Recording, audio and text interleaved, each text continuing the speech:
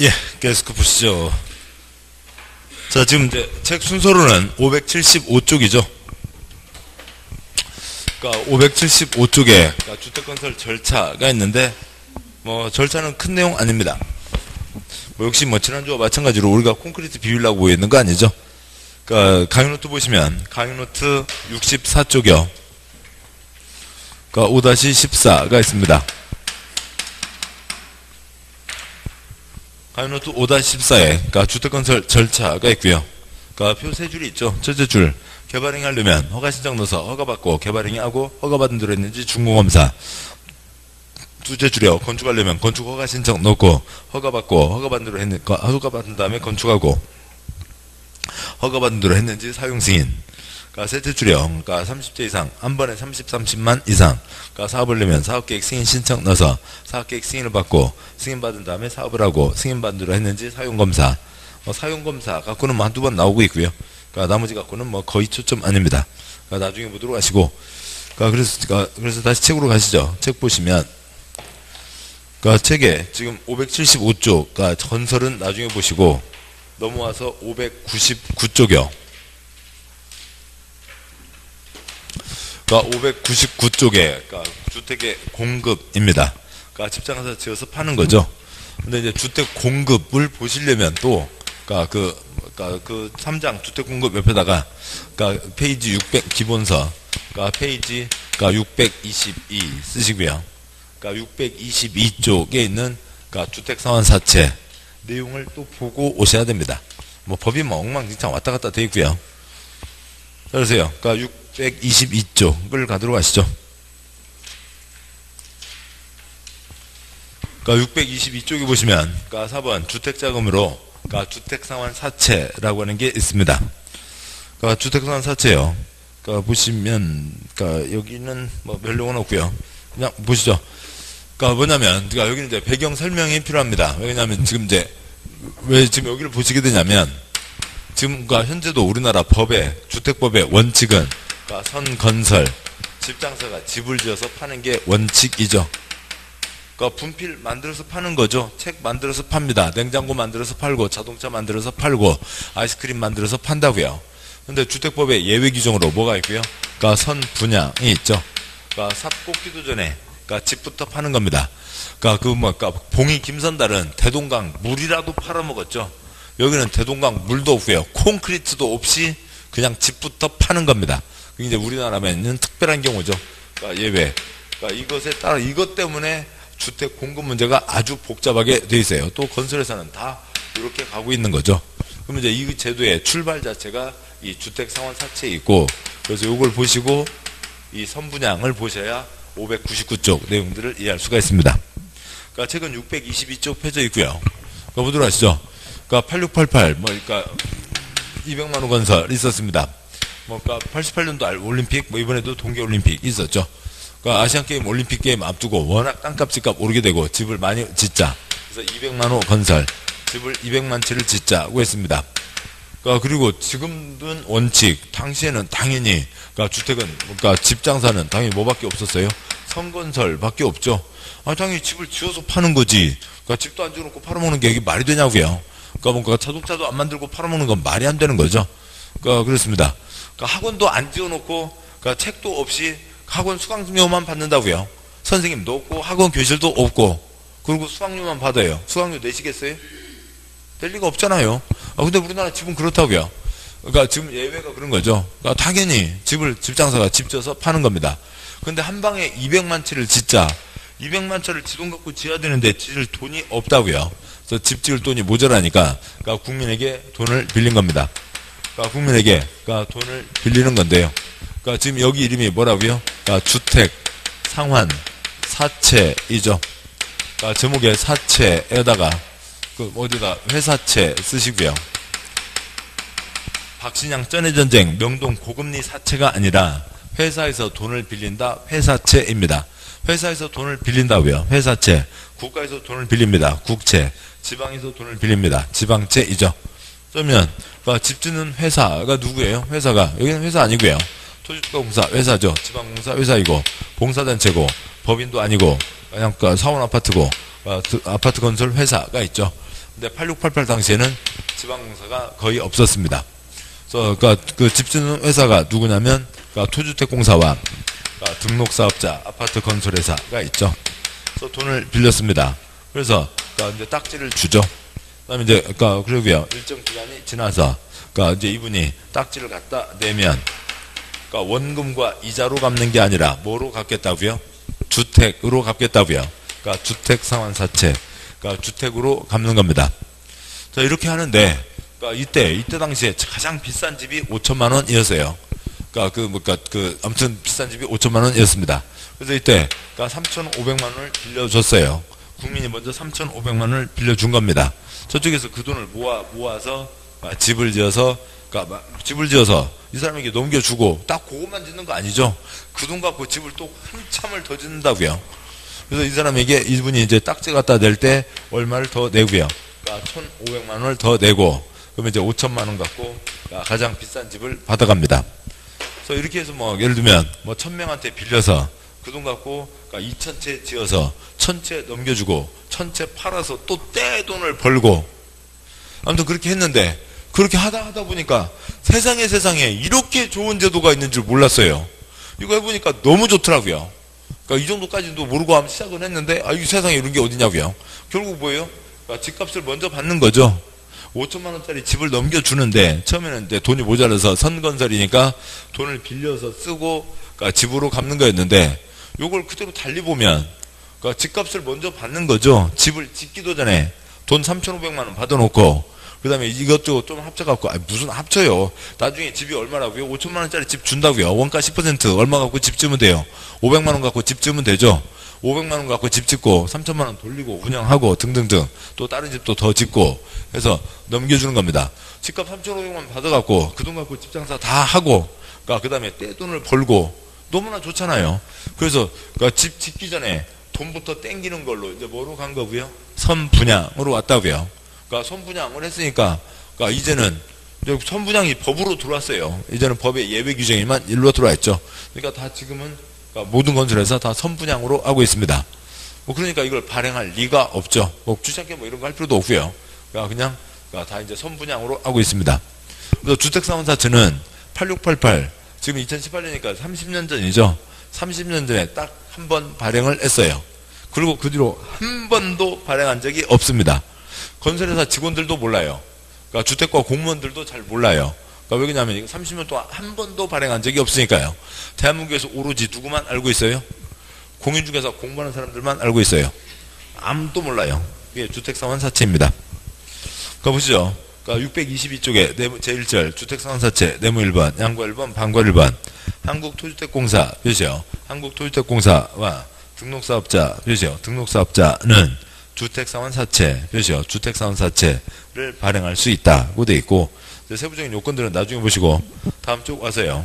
그러니까 623쪽에 그러니까 네모 2번 양도 해약 그러니까 양과 1번 그러니까 방과로 1번 그러니까 주택상환 사채는 이를 양도 표시요. 양도하거나 중도의 해약 표시요. 중도의 해약 할 수 없다 표시요. 없다 그 다음에 그러니까 기울어진 선 사선 급구요. 이거 시장에서 돌리면 100% 투기 딱지 사고 팔 수 없다고요. 그러니까 참고로 그러니까 8687 이때 그러니까 최저 임금이 월 9만 5천 원이었어요. 그래서 생산직 그러니까 10만 원, 그다음에 사무직 그러니까 12만 원에서 15만 원이었습니다. 그리고 이때만 해도요. 그 노란 노란색이라고 해야 돼요. 빨간색이라고 해야 돼요. 노란색 월급 봉투 있거든요. 그러니까 월급 봉투 앞에 이제 뭐 항목 다 써져 있고 그래서 그러니까 이제 그 가장 뭐 아무 남, 남 남성도 있고 여성도 있고요. 월급 봉투를 가져와서 그러니까 집에 놓고 그날 이제 그러니까 튀김 딱 한 마리 먹고 뭐 아무튼 그러던 때입니다. 아무튼 10만 원인데 그러니까 그러니까 얼마요? 한 푼 안 쓰고 그대로 모으면 월, 그러니까 연 100만 원 정도가 되겠죠. 그러니까 한푼 안 쓰면 연 120만 원이요. 그러면 지금 이건 뭐예요? 한 푼 안 쓰고 30년 월급 그대로 침대 밑에서 꺼낼 수 있는 분 그런 사람들만 지금 주택상환사채를 샀다고요. 그러니까 회사에게 돈을 빌려줬다고요. 30년 월급 그러니까 그 침대 밑에 쌓여있는 분들이나 요걸 빌려줄 수가 있었습니다. 그러니까 돈 있는 분들이 하는데 이걸 계속 놔두면 돌리고 돌리고 돌리고 하면 이 자체가 투기딱지가 되는 거죠. 그래서 사고 팔 수 없다. 라고 하는 규정이 있고, 뭐 이제 예외는 있죠. 자, 여기까지 보셨고, 자, 다음 이제 강의노트 보시죠. 강의노트의 66쪽이요. 강의노트 66쪽에 5-19, 그러니까 주택상환 사채가 있고, 어, 뭐 지금 보셨던 그 양 옆에 있는 건 빼고요. 뭐 요것만 보도록 하시죠. 그러니까 그 처음에요. 국민 A가 3,500만 원을 빌려주죠. 그러니까 돈을 빌려주면 저쪽에서 종이딱지, 증권, 권리관계를 증명하는 권원서류, 기명증권을 줍니다. 그러니까 사업이 어지간해서 다 끝나고 나서 그러니까 종이딱지를 내면서 그러니까 그러면 이미 3,500만 원 냈으니까 1,500만 원을 더 내면 5천만 원짜리 집을 받게 되는 거죠. 뭐 이렇게 하는 게 그 주택 상환 사채였습니다. 그 다음에 이제 이것이 아 이제 선분양으로 자리를 잡았다고요.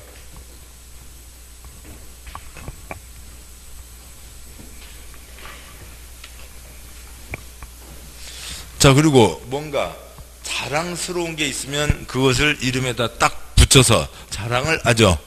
그 다음에 뭔가 숨겨야 될 일이 있다고요. 누구요? 사기꾼들이요. 사기꾼들은 그뭐 핵심적인 내용을 앞에다 얘기해요. 슬쩍 숨겨요. 슬쩍 숨기거나 아예 얘기하지 않거나 아니면 이제 뭐 나중에 이제 아 얘기했잖아. 그것 때문에 슬쩍 숨기고 가는 거죠. 그러니까 여기서도 이제 그 비슷한 것들을 접하게 됩니다. 자 먼저요. 그 5-20 그러니까 선건설 후분양이 원칙인데 예외로 선분양 후건설도 있습니다. 그러니까 출판요. 우선 한 번에 30, 30만 이상 지으려면 뭘 받아야 되고요. 그러니까 사업계획 승인을 받아야 되죠. 그러니까 이것과 다르게 그러니까 그 공적 주체는 그러니까 선분양하지 않고요. 민간만 선분양을 합니다. 그러니까 민간 A가 어디다 집을 그러니까 전체를 짓겠다고요. 그러니까 전체를 짓고 싶다고 하면 전체를 아직 짓지도 않은 거죠. 그러니까 삽도 안 꽂은 상태에서요. 그러니까 돈부터 땡기고 싶다고요. 그래서 선분양 하겠다. 그러니까 선분양, 그러니까 건설하기 전에 분양부터 하겠다. 그러니까 돈부터 땡기겠다는 거죠. 그러면 그러니까 돈부터 땡긴다라고 하면 제가 왜 계속 이래요? 그러니까 돈부터 땡기겠다고 하면은 이제 많은 사람들이 이것을 딱 이름 앞에 걸면 아 선분양 때문에 이러잖아요. 그 선분양 때문에 뭐 이렇게 뭐 좋은 점인가요? 나쁜 점인가요? 뭐 그런 것들이 있잖아요. 그 아파트 살고 있습니다. 아파트 포르말데도 퍽퍽 풍기는데 환기 잘 안 되면 안 되잖아요. 환기 집주인들이 열심히 환기를 해야 되는데 또 환기 아, 귀찮아서 안 하는 사람들이 있을지 모릅니다. 그래서 아예 그러니까 이 벽판하고요. 그다음에 기둥하고 12cm를 띄워놓죠. 그렇게 해서 강제적으로 환기하게 해요. 벽하고 그러니까 기둥이 12cm가 떨어져 있다고요. 그러니까 기둥하고 아랫 기둥이 그러니까 그 10분의 3만 걸려 있고 그러니까 기둥이 계속 이어져 가야 되는데 기둥이 10분의 3만 걸려 있고 10분의 7이 빠져 있어요. 다 무슨 일들이에요? 선분양이죠. 그러니까 돈 받았는데 뭘 신경 써요? 넘겨주기만 하면 되죠. 애프터 서비스 그게 소송 들어가면 되고 내 잘못 아니다. 소송 들어가면 되고 집이 엉망진창 나오는 겁니다. 그래서 이제 많은 사람들이 선분양 때문이잖아. 선분양 때문이잖아. 그러니까 이 얘기를 숨기고 싶다고요. 그러니까 요 얘기를 숨기기 위해서 만들어낸 말이 뭐라고요? 입주자 모집 승인이라고 표현을 합니다. 그러니까 입주자 모집 승인, 입주자 모집 공고 승인이라고 불러요. 근데 입주자 모집 승인, 입주자 모집 공고 승인이 뭐라고요? 실제 내용은 선분양, 그러니까 돈부터 땡기는 것을 얘기합니다. 그러니까 그러면 그러니까 이거 이제 시군구가 내주는데, 그러니까 시군구가 입주자 모집 승인을 하면은 그러니까 뭐 말씀드렸듯이 선분양이 정해지고, 그러니까 다음에 해당 단지에 그러니까 주택 공급 가격이 정해집니다. 그래서 누구만요? 민간만 그러니까 선분양할 수가 있는 거죠. 그러니까 민간이 아닌 자는 선분양할 리도 없고, 그러면 입주자 모집 승인 신청을 넣겠죠. 입주자 모집 승인 신청을 넣어서 그러니까 입주자 모집 승인을 받으면 그 다음에 이제 광고를 하는 거죠.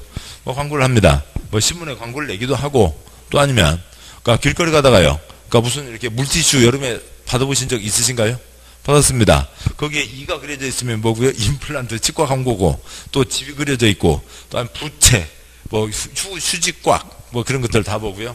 아파트 분양 광고들이 많죠. 자 그렇게 됩니다. 그럼 이제 거기서 이제 광고를 하든 말든 지네들이 알아서 할 문제이고 그 다음에 모델하우스를 짓든 말든 그 지네들이 알아서 하든 말 하든 말든 하는 거죠. 모델하우스를 뭐 지었다고 치죠. 그래서 그러니까 돈 집 사는데 집 소유를 입주라고 한다고 그랬죠. 집 소유하는데 드는 돈, 집값을 입주금이라고 합니다. 입주금을 네 번 나누어 내게 돼요. 그래서 첫 번째 내는 게 뭐고요? 그러니까 청약금을 냅니다. 나 그 집 사고 싶다. 그러니까 만약에요. 그러니까 집장사 A가 천세대 그러니까 팔겠다라고 해서 선분양하겠다 해서 신청 넣어서 입주 모집 공급 승인을 받았습니다. 그다음에 그러니까 광고를 냈고요. 근데 청약금 낸 사람이 그러니까 실제로 자주 있고요. 그러니까 천, 천 집을 팔겠다고 했는데 세 명이 청약금을 냈습니다. 천 분의 3, 100분의 0.3이죠. 그러면 이제 1순위 청약이 안 되면 이제 2순위 청약으로 가야 되는데, 그러니까 2순위 청약이 가봤자 되겠어요? 3명이 신청했다고요. 그러면 지금 뭔가 문제가 있는 거죠. 그러니까 일반적인 뭐 냉장고나, 그러니까 뭐 무슨 제품들을 보면 가격이 좋아야죠. 맞아야죠. 기능 좋아야 되고 디자인도 좋아야 됩니다. 세 가지가 맞아야 잘 팔리는데 셋 중에 뭐가 엉망이면 안 팔리겠죠. 지금 셋 중에 뭐가 엉망입니다. 그래서 안 팔린다고요. 사람이 신청도 안 했다고요. 그러면 이 건설회사, 이 민간 건설회사 A, 그러면 이제 큰 패착을 한 거잖아요. 뭔가 잘못을 한 겁니다. 그러니까 그러면 건설회사 A는 그러니까 경제적으로 많은 손해를 볼까요? 안 볼까요? 어떤 조금 보죠. 아까 물티슈 세 박스요. 그다음에 그 크리넥스 꽉 다섯 꽉이요. 다섯 박스요. 그다음에 부채 만들어서 나눠줬잖아요. 그 플라스틱 값이요. 그거는 손해 보죠. 그거 손해 본 거 그거 빼고 나면 그 분양 그러니까 입주자 모집 승인인가 철회하면 되죠. 신청을 철회해서 안 하면 되는 겁니다. 어떤 손해 보는 것도 없죠. 뭐 아무런 손해도 보는 것도 없고요. 뭐 그렇게 됐는데 그러니까 그래서 가격이 엉망해서 신청을 안 했습니다. 그러니까 사람들이 3명밖에 신청을 안 했다고요. 근데 가격이 엉망이어서 너무 비싸게 해서 신청을 안 했는데 괜히 옆 동네에서 막 북적북적 하고 있어요. 옆 동네에서 북적북적 해서 아 이것도 돈 될까? 해서 그러니까 뭐 1200명이 신청을 했다고 치자고요. 그러면 이제 A는 그 사람들을 뭐라고 부를 거고요. 아이고 반갑습니다. 호갱님. 뭐 해서 이제 떼돈을 벌겠죠. 그러니까 합니다. 아무튼 그렇고요. 그러니까 청약금을 내고 그 다음에 이제 당첨 사실 그러니까 만약에 청약금 낸 사람이 2,000명이면 경쟁률 2대 1. 그다음에 이제 당첨 사실 통지를 하겠죠. 그중에 1,000명 정해서 당첨 사실 통지를 하면서 그 다음 돈 갖고 오세요. 그두 번째 돈 뭘 내고요? 계약금을 내죠. 계약금 내고요. 그 다음 이제 중도금을 뭐 세 번, 네 번 알아서 내고 마지막 중도금 도배 공사까지 다 끝났습니다. 그럼 공사 끝났음에 대한 검사 뭘 받고요? 사용 검사를 받습니다. 그러니까 그러고요. 그러니까 지금 누구 돈 갖고 집을 그러니까 짓고 있어요? 입주 예정자 B1, B2 돈을 갖고 집을 짓고 있죠. 그러니까 그런데 사용 검사 받고 지금 다 결국 달리 보면 선분양은 뭐냐면 그러니까 이, 이 사람들이 돈 주는 거죠. 돈 줄게. 집 지어서 넘겨. 그러니까 공사 하도 국가 비싼 거예요. 집 지어서 넘기는데 한 채에서 5억씩 가져가고 두 번째로는 누가 집주인 행세를 다 하고요. A가 집주인 행세를 다 하는 거죠. 그래서 A 이름으로 보존 등기를 하게 됩니다. 아, 그렇고요. 아, 다음에 마지막 돈 갖고 오세요. 마지막 돈 뭘 내고요? 잔금을 내게 되는 거죠. 그러니까 칠판요. 여기까지는 동산입니다. 그러니까 시멘트 모래 물 자갈 쇠파이프가 따로 다 굴러다니거나 엉겨 있거나 하는 거죠. 여기까지는 동산이고 그다음에 뭐 어떻게 지었든 간에 여기까지는 동산이고 공법의 한 덩어리가 되는 게 뭐고요? 사용 검사, 민사상의 한 권리의 객체가 되는 게 언제고요? 보존 등기 때그 객체가 된 거죠. 그러니까 이때 그러니까 부동산 주택이 된 겁니다. 그래서 마지막 돈 갖다 냈다고요. 그러니까 그러면 이제 A, B 이 집장사 A와 이 B의 계약에서 B 할 바 다 했죠. 돈, 넘, 돈 줄게 아파트 넘겨라. 돈 줄게 돈 다 줬잖아요. 그러면 이제 집 넘겨줘야죠. 그래서 소유권 이전 등기를 하게 됩니다. 그러니까 소유권 이전 등기를 하게 되면 그러니까 그러면 그 시점 뒤로는 그러니까 B1, B2가 그러니까 이 주택의 소유자가 되는 거죠. 그러니까 주택의 소유자를 그러니까 뭐라고 하냐면 아까 소유자를 뭐라고 한다고요? 입주자라고 하는 거죠. 주택의 입주자가 됩니다. 그러니까 자 그러면 언제 계약이 성립됐어요? 당연히 계약금 때가 아니죠. 민법의 계약은 뭐와 뭐로요? 청약과 승낙으로 이루어지는 거죠. 그러니까 B1 등 청약의 의사표시 A 좋다 당신과 하겠다 승낙의 의사표시 당점 사실 그러니까 계약 그러니까 성립이요 발신요 도달이요 의사표시요 발신요 도달이요 도달해야죠. 당첨 사실 통지 받은 때 계약이 성립된 겁니다. 그러니까 이 민, 법상의 계약 당사자 지위 채권 채무 관계를 그러니까 주택법에서는 뭐라고 부르냐면 그러니까 입주자로 선정된 지위라고 불러요. 흔히 얘기하는 분양권 입주권을 얘기하는 거죠. 그러니까 말이 길어서 아홉 글자 입주자로 선정된 지위. 그러니까 그런데 차라리 이게 더 낫습니다. 말도 안 되는 이상한 뭐 아까 보셨듯이 입주자 모집 승인이라는 이런 말도 안 되는 거짓말 만들어내는 것보다는 어, 입주자 소유자가 되기로 정해져 있잖아요. 뭐만 하면 집값만 제때 제때 내면 계약 의무 이행만 하면 소유자가 정해되기로 정해져 있는 사람입니다. 그다음에요. 뭐세 가지요. 그러니까 지유와 주택은 시간적으로 이어지는 거죠. 동시에 두 가지를 가질 수는 없죠. 계약 당사자 지위이고 그다음에 잔금 치르고 이전 등기하는 순간 지위는 없어지고 주택의 소유자가 됩니다. 그러니까 두 번째요. 그러니까 대한민국 그러니까 20층 아파트 표준 공사 기간이 36개월 3년으로 정해져 있습니다. 근데 뭐 또 서둘러 하기도 하잖아요. 그래서 이제 이 기간이 2년 반, 그러니까 3년의 기간이 되고 뭐그 다음 세 번째요. 자본주의죠. 그러니까 자동차 사고 팔 수 있죠. 그다음에요. 그러니까 주택 사고 팔 수 있습니다. 지위 사고 팔 수 있죠. 지위 주택 다 사고 팔 수 있습니다. 그래서 그러니까 누구네 개똥이네. 아, 석달 전에 어디 당첨돼 갖고 그러니까 석달 만에 그러니까 피 5천만 원 붙여서 팔아 먹었대야. 뭔 피를 피를 붙여서 팔어? 돼지 피. 그러니까 프리미엄.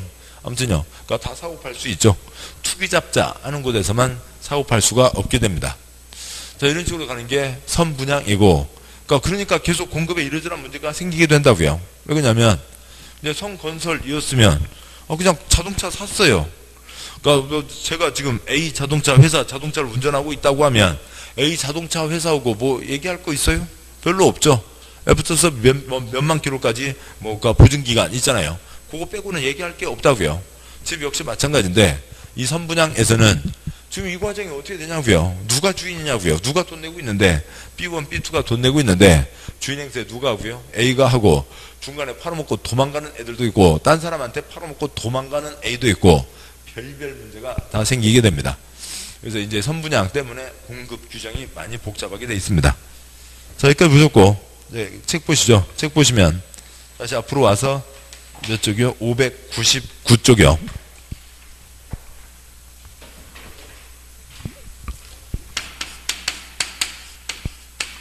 599쪽 있습니다.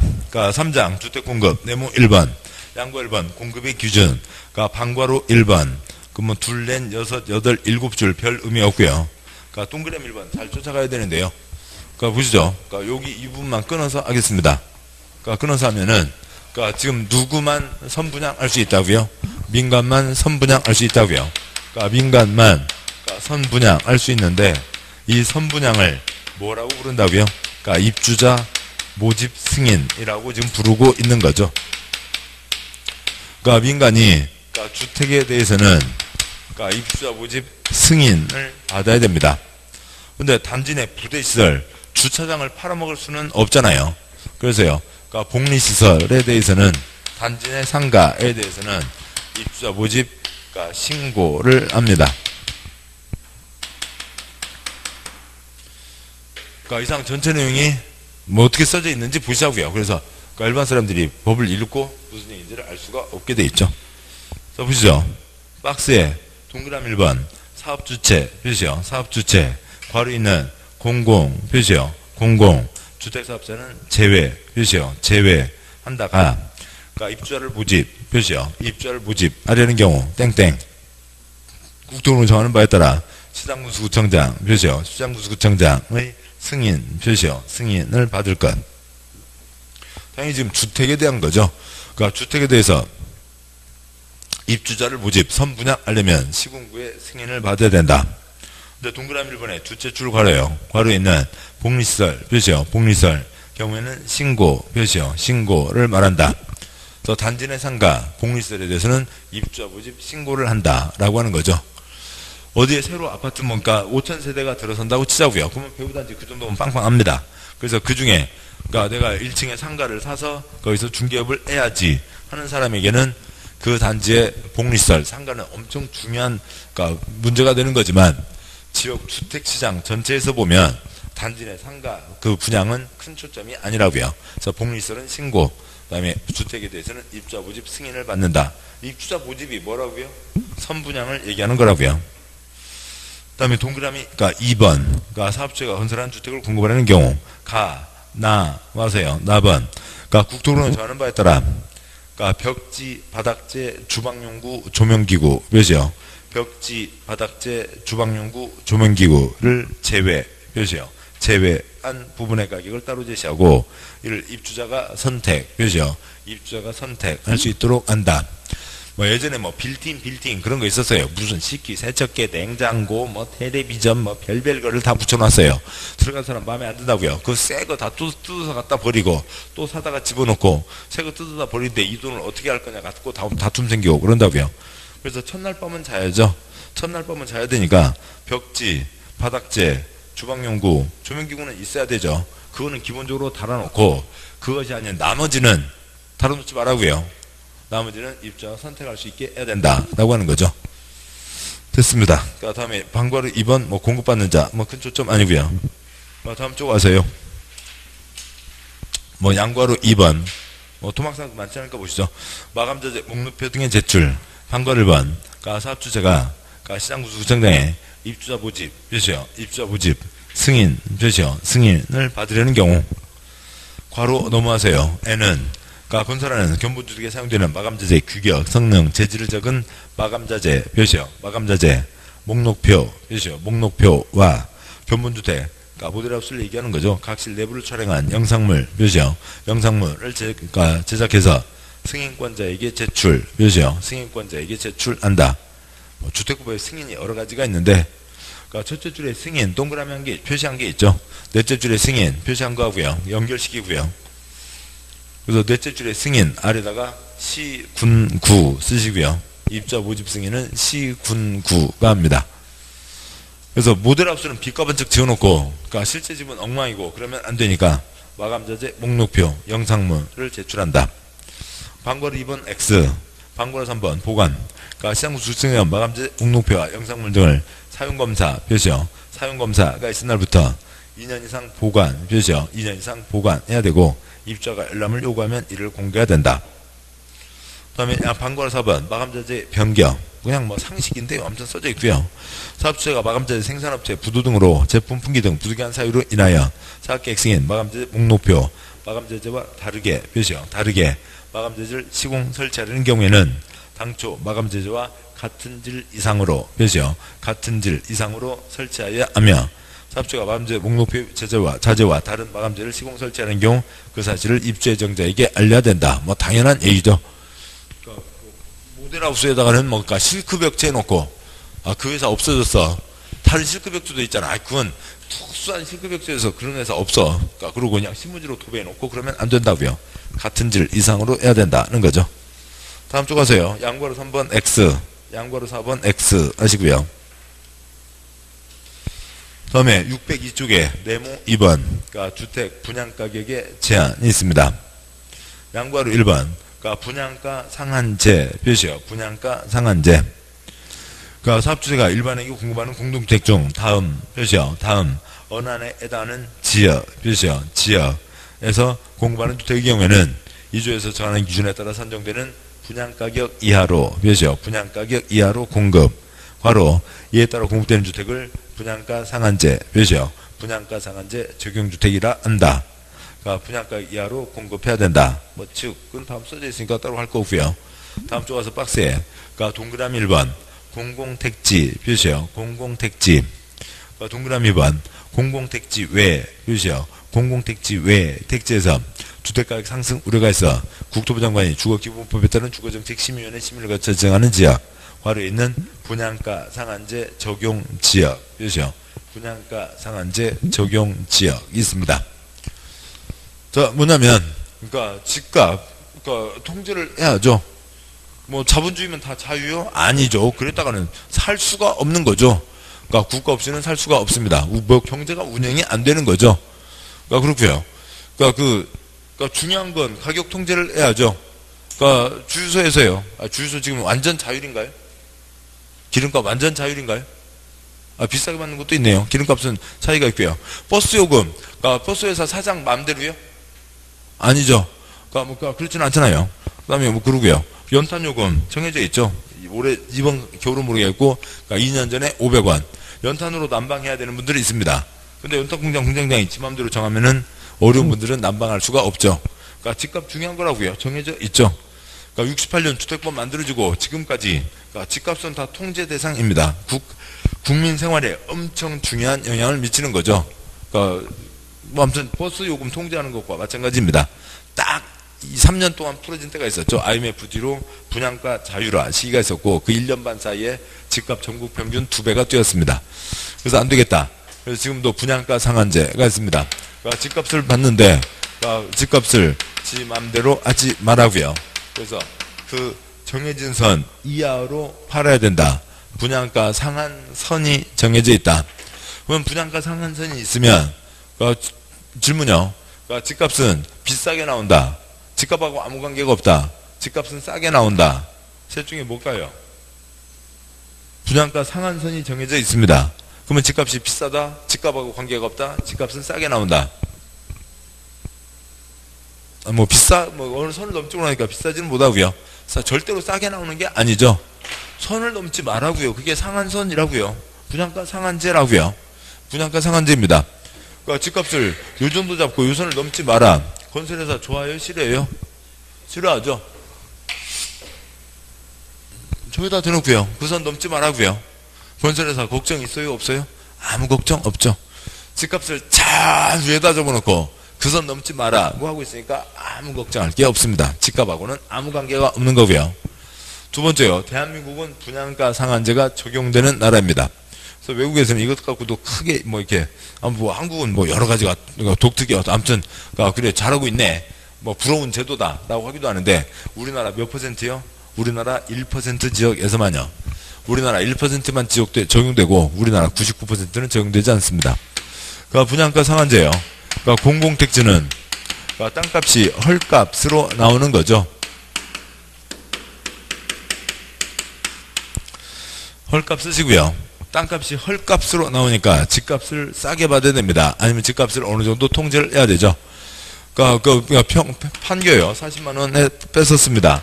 불두조 한번 지나고 400만 원이라고요. 또랑 하나 건너서 분당. 그러니까 분당 뭐 저 위에 강남 한 평에 5억, 한 평에 1억, 아니면 뭐 8천만 원 잡아도요. 그러니까 20분의 1이죠. 땅값 20분의 1로 값이 나오는 겁니다. 그러니까 40만 원 주고 뺏어서 불두조 한 번 지나가고 400만 원인 거죠. 그러니까 똑같은 아파트가 있다고 치자고요. 그러니까 똑같은 아파트가 있고 뭐 콘크리트 값 30평 1억이면 다 뒤집어 쓰고요. 콘크리트 값 1억입니다.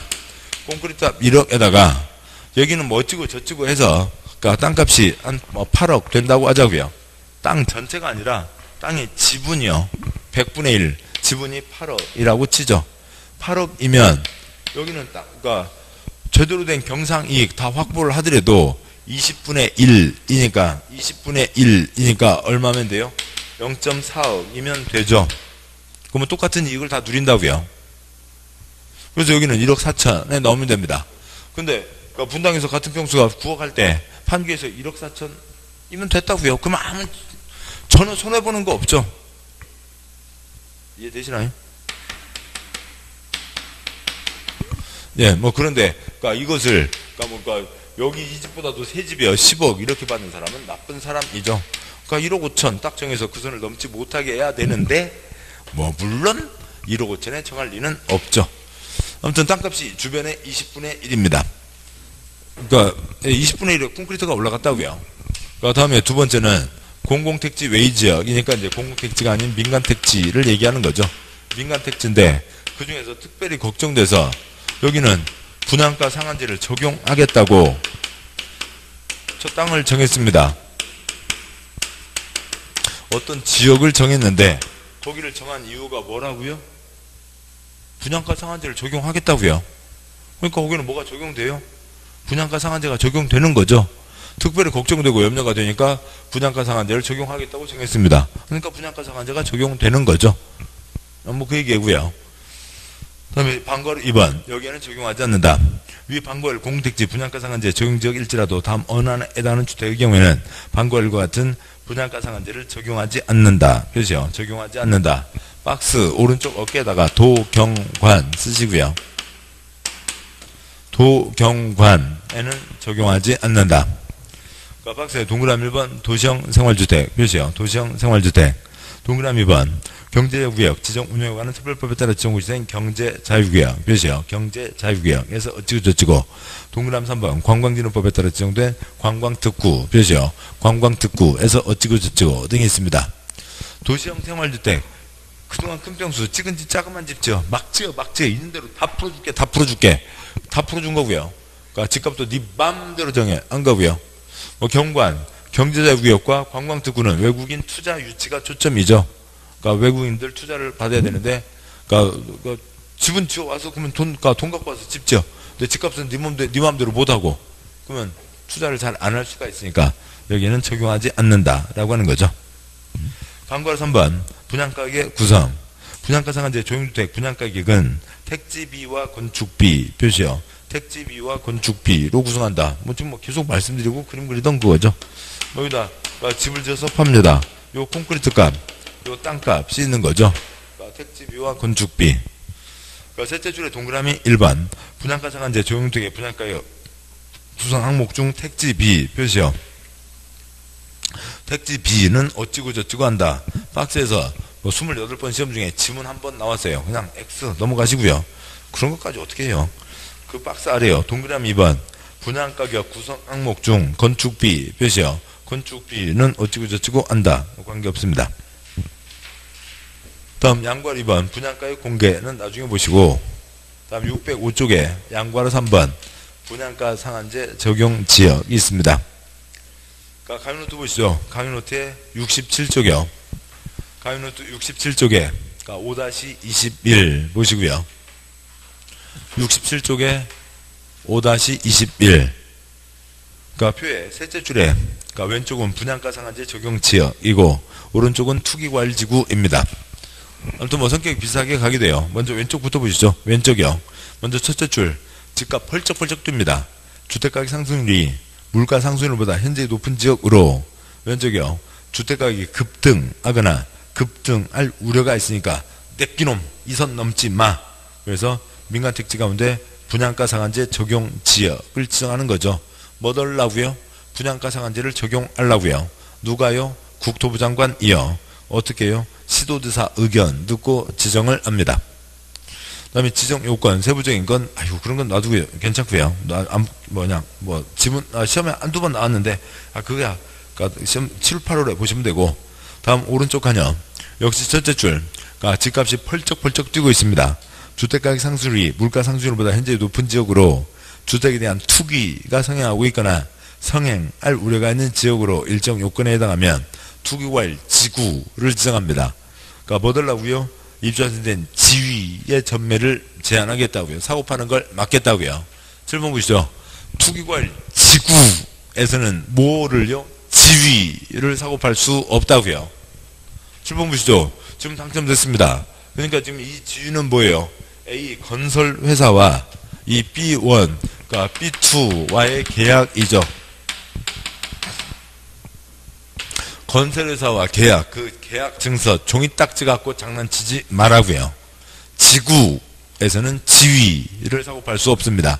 집은 지, 주택은 집은 마음대로 사고 팔 수 있지만 지구에서는 지위를 사고 팔 수 없다.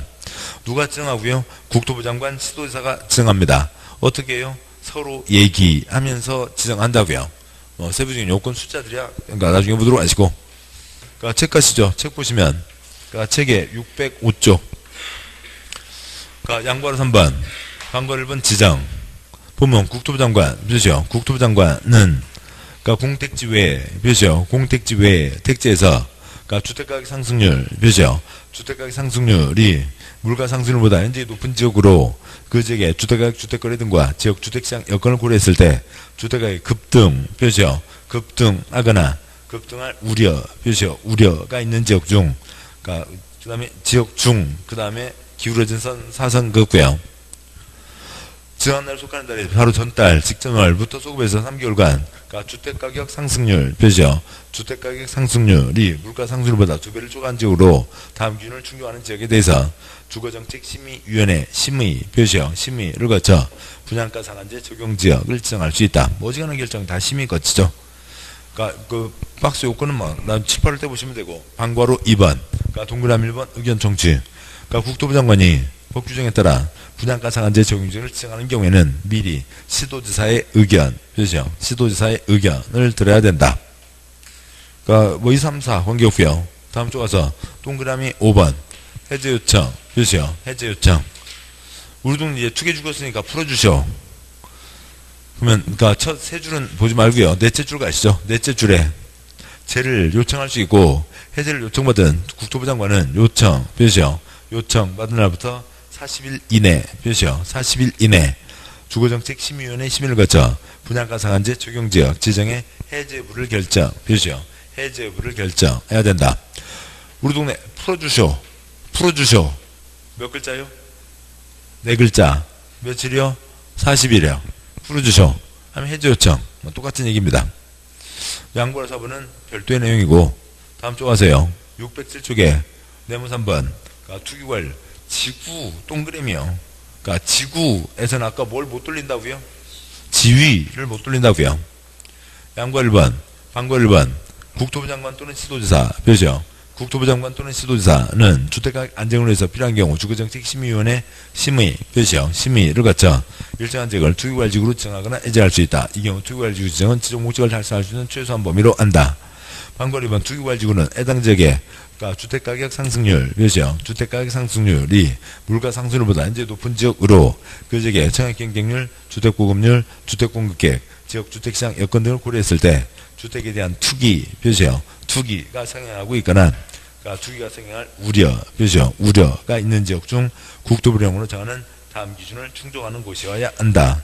박스는 나중에 보시고 양과 2번, 그러니까 지정 절차, 방과로 1번, 그러니까 국토부 장관이 투기 가지고 지정 해제할 경우에는 시도지사의 의견, 그렇죠? 시도지사의 의견을 들어야 하며 시도지사가 투기 가지고 지정 해제할 경우에는 국토부 장관과 협의, 그렇죠? 국토부 장관과 협의한다. 아, 뭐 그런 갑다. 뭐 그걸 갖고 그렇게 뭐 문제를 낼 거리가 얼마나 된다고요? 다시 올라가세요. 607쪽 제일 위에 네모 3번, 양과 1번, 방과 1번. 여기는 누가 지정한다고요? 국토부 장관도 시도지사도 지정하는 거죠. 따라서 양과로 2번, 그러니까 지정 절차에 방과로 1번에다가 그러니까 같이 쓰시고요. 그러니까 국시도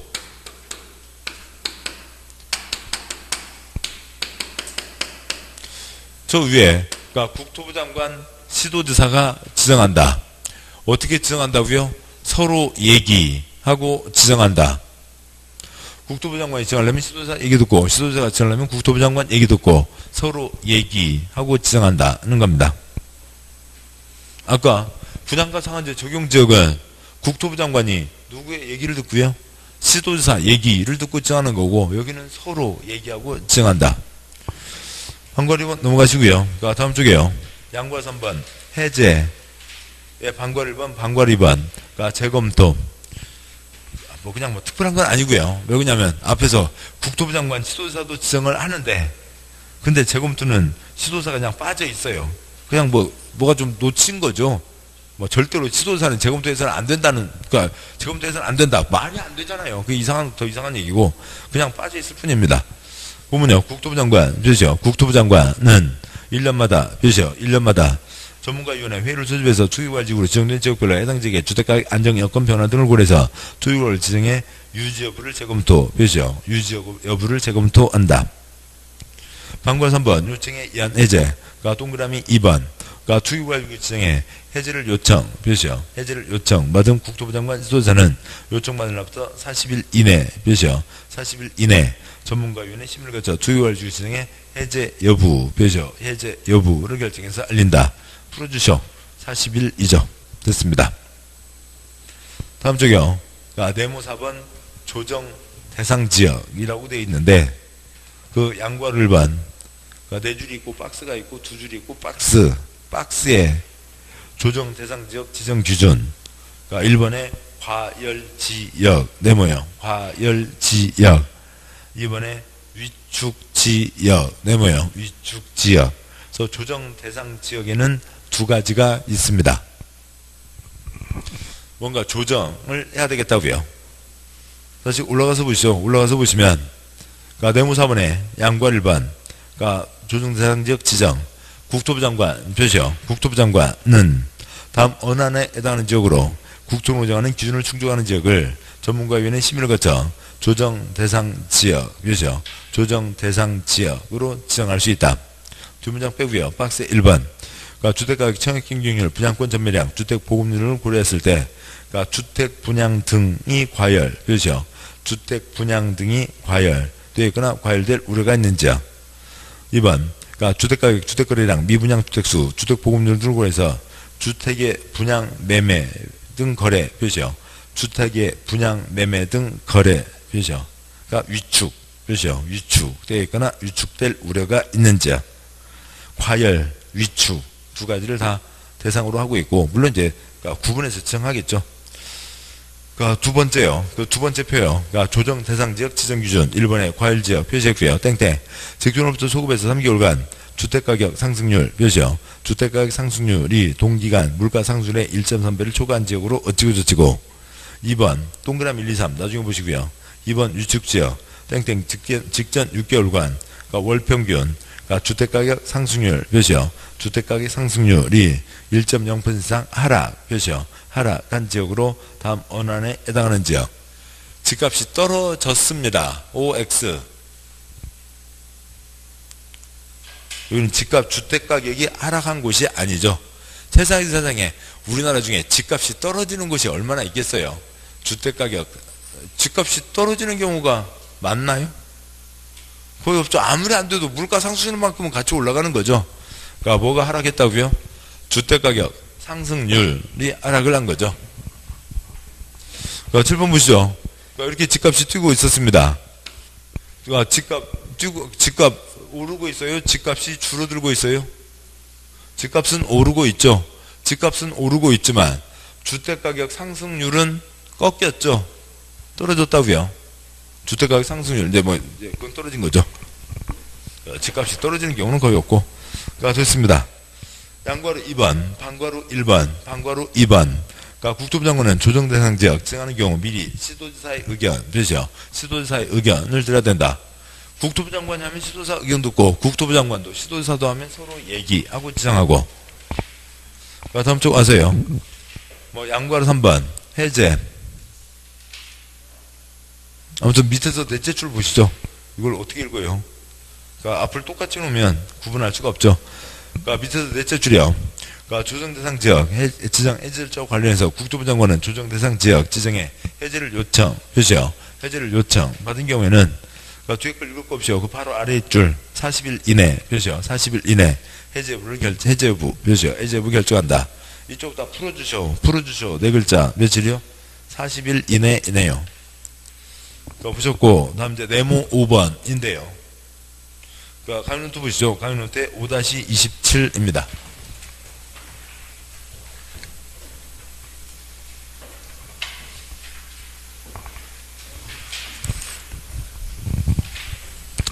저 7번 보시죠. 자본주의입니다. 그러니까 아파트 사고 팔, 주, 냉장고 사고 팔 수 있죠. 차 사고 팔 수 있고, 주택 사고 팔 수 있고, 지위 사고 팔 수 있습니다. 근데 사지 못한다, 팔지 못한다. 뭐 잡자 할 때요. 투기 잡자 할 때 사지 못한다, 팔지 못한다가 정해지는 거고, 그러니까 10년 이내에서 정합니다. 그러니까 10년 이내에서 정하는 게 30가지가 있어요. 그러니까 30가지가 뭔지, 30가지가 있어요. 그러면은 경산한네요? 애고애고예요? 경산한네. 어, 저, 주네들도 못 외울 거잖아요. 주네들 못 외우니까 시험에 안 나옵니다. 경산한네인 거고요. 그러니까 뭐 할 수 없다고요? 선매할 수 없다고요. 그러니까 돌려, 돌릴 수 없다라고 하는 거죠. 이거는 전매청 오로지 그러니까 그쪽에서만 판다는 게 아니라 돌리지 마라는 거죠. 농지 전용 때 있었던 거죠. 그러니까 돌리는 거예요. 그러니까 이 전자에다가 소리 전 전자 소리 나는 데다가 바퀴 차바퀴 붙여갖고 돌리지 마라는 거죠. 전매 제한입니다. 네 가지가 걸리는데요. 그러니까 첫 번째요. 그러니까 투기과일 지구에서는 뭐를요? 지위를 돌릴 수 없다고요. 지구에서는 지위를 돌릴 수 없고 주택은 마음대로 사고 팔 수 있습니다. 아까 조정 대상 지역 그 경우에도 그러니까 뭘 돌리지 말라고요? 지위를 돌리지 말라는 거죠. 주택은 마음대로 사고 팔 수 있습니다. 7번 보시죠. 이 기간이 아까 20층 아파트 표준 공사 기간이 몇 년이라고요? 3년이라고요. 그러니까 여기서부터 시작을 해서 길, 길면 10년인데 10년까지 하는 경우는 없고 지금 현재는 이제 6년까지입니다. 여기부터 해서 3년 시간적으로 이어지는 거죠. 그 뒤로 3년까지 못 판다. 또 아니면 그러니까 5년 동안 못 판다, 4년 동안 못 판다, 3년 동안 못 판다. 또 있고요. 3년 동안 못 판다, 지 못 판다 하고 비싼 거겠죠. 뭐 2년, 1년, 6개월 등이 있습니다. 그러니까 이러저러하게 못 판다라고 하는 거죠. 아까 분양가 상한제가 뭐였어요? 그러니까 분양가 상한제에 해당하는 게 그러니까 공공택지와 그다음에 분양가 상한제 적용 지역이 있었죠. 거기서는 뭐도 뭐도요? 그러니까 지위도, 그러니까 주택도, 그러니까 10년 이내에서 정하는 기간 동안 못 판다라고 하는 거고요. 그러니까 출판요. 그래서 이게 더 긴 건 아니에요. 이건 더 긴 건 아니고 여기 지위 여기 끝까지 못 판다라고 하면 3년을 못 팔게 되겠죠. 아니면 1년 동안 못 판다 할 수도 있고요. 그러니까 이쪽 경우에도 지위주택 중에서 지위주택 중에서 6개월 못 판다도 있어요. 6개월만 못 파니까 6개월만 지나면 팔 수 있죠. 아무튼 이렇게 지금 정해져 있는 게 여기에 다 해당되는 걸 다 짚어보면 우리나라 땅 12%입니다. 그래서 12%에서는 못 판다고요. 30가지가 12%예요. 대한민국 땅 88%에서는 지금도 당첨만 되면 그러니까 피 붙여서 프리미엄 붙여서 사고 팔 수 있습니다. 그 다음에 민간 택지, 공공 택지가 아닌 택지 가운데 뭐 민간 택지가 있는데 그러니까 그 이제 예외들이 있거든요. 그러니까 거기서는 모두 모두요. 그러니까 지위도, 그러니까 주택도 사고 팔 수 없다라고 하는 겁니다. 자, 생겼는데 그러니까 법을 위반했다고요. 위반한 걸 막 멍하니 보고 있으면 안 되죠. 그러니까 위반했을 때 어떻게 할 거냐. 또 위반 그러니까 방지책을 어떻게 할 거냐는 거죠. 지금 보시죠. 지위 못 판다. 그러니까 이 B2와 집장사 A 건설회사와의 계약이죠. 그러니까 그런데 위반한 거 적발됐습니다. 그러니까 이 B2가 그러니까 C하고 불법 계약 맺은 걸 적발했다고요. 그러면 C는 불법 계약을 맺었어요.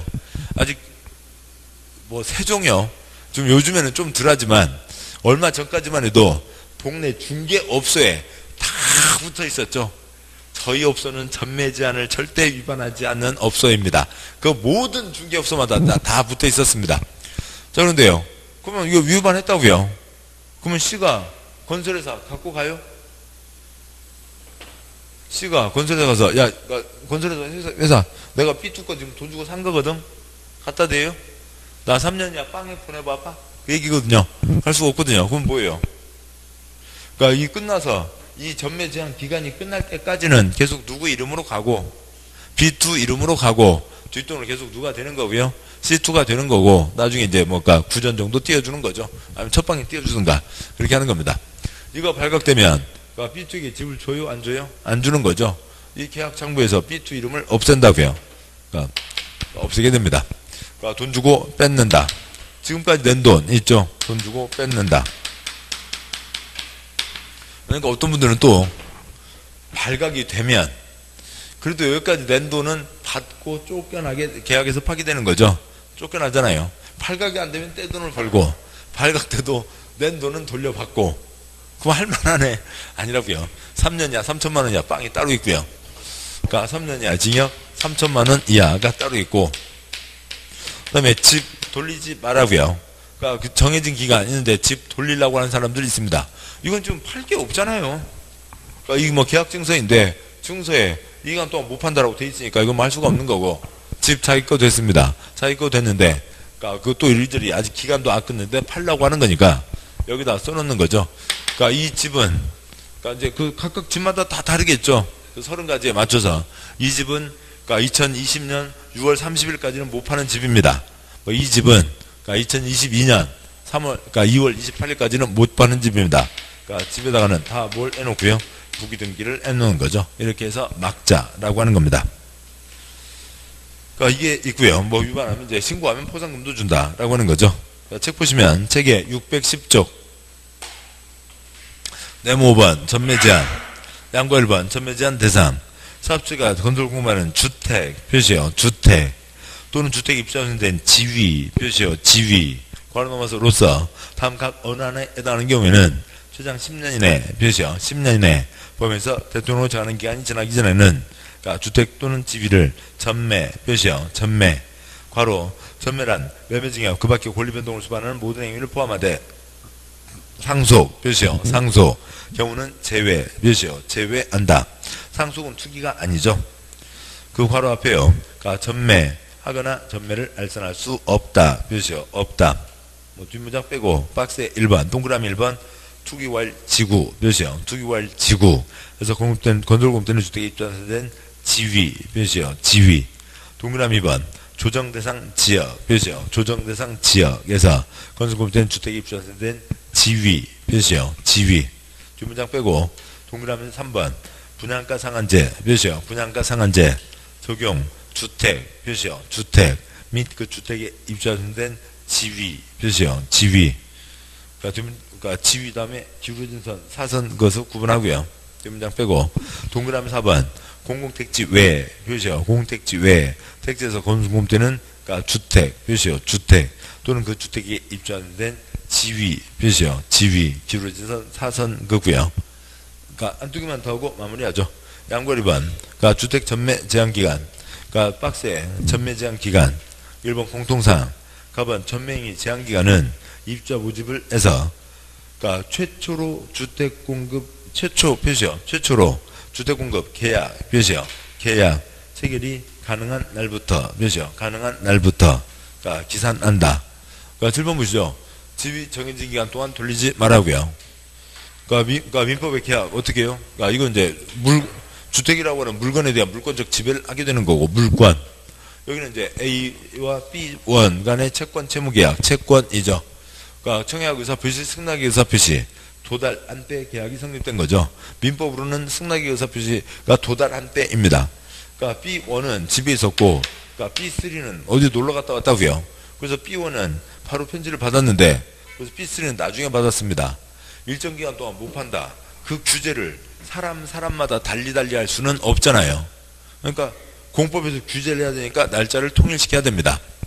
사람마다 도달은 다른데 그렇다고 해서 그러니까 법률행위가 있기도 전에로 소급할 수는 없고 계약금 갖고 오세요. 뭐 예를 들어서요.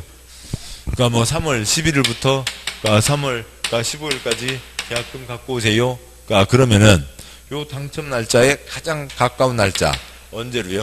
3월 11일 부터 계산을 하겠다는 거죠. 그러니까 그래야 모든 사람에게 똑같이 규제를 할 수가 있습니다.